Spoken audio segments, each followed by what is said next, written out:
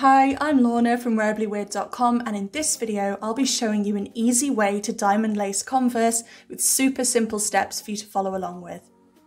Now diamond lacing Converse might look like a tricky technique, but it's actually really easy. If you make sure to follow along with all the steps in this video, you can't go wrong.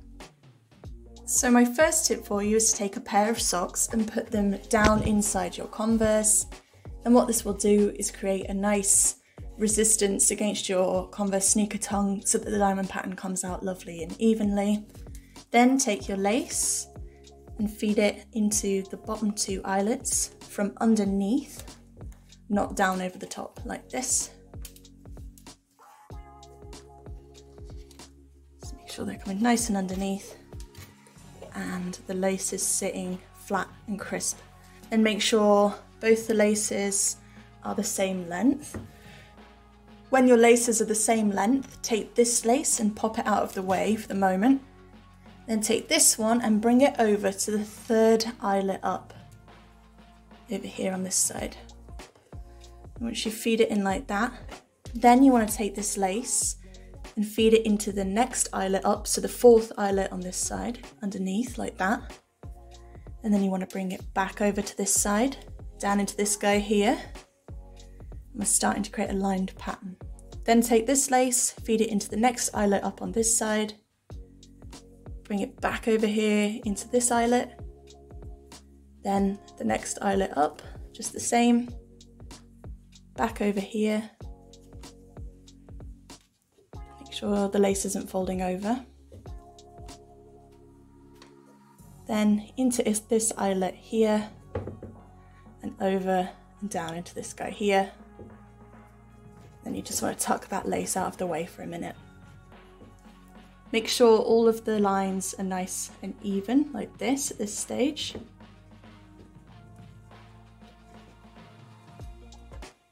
There's a little fold in that guy there. That's You definitely don't want that to happen, so make sure you double check everything before you move on. Now we want to take this guy and bring him underneath this first lace here. And down into the third eyelet up on this side, like so. Then we want to take him underneath and up into the fourth eyelet up on this side. Pull it through.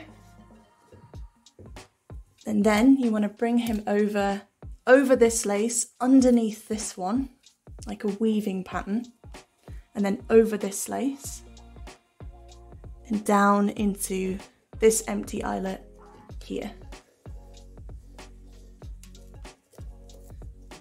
And as you can see, we're starting to get our diamond weave pattern. Then take this lace, open this up, bring him underneath and through the next eyelet up. Pull him all the way through, making sure he looks neat and then start to weave him through the other laces.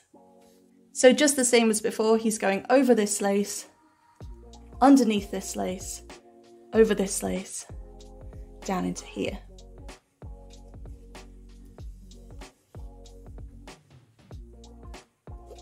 And then you want to bring him up and through this eyelet here on this side. And then back over, under, over, down into this guy here. Make sure everything's nice and straight and just go slowly and take your time with this. It's much better to go slowly or repeat a step like I'm doing here if you want to make sure that lace is nice and crisp. So we're going over, on, sorry, over, under, over, into here. There we go, that's way better. And then up through here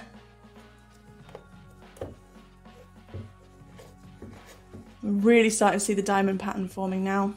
Quick message before we continue. If you're looking to try some different awesome ways to lace your Converse, I have a huge blog post linked in the description for you where I'll cover these nine lacing techniques. So if you like the look of any of those, make sure to check it out.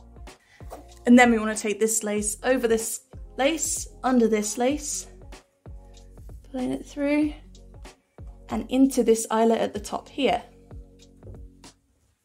Then you can go ahead and start adjusting your diamond pattern to make sure it's sitting really nice. Then you should be left with two diamond lace converse that look like this. You can take your time adjusting the pattern to make sure they match exactly, but look how cool and fresh they look.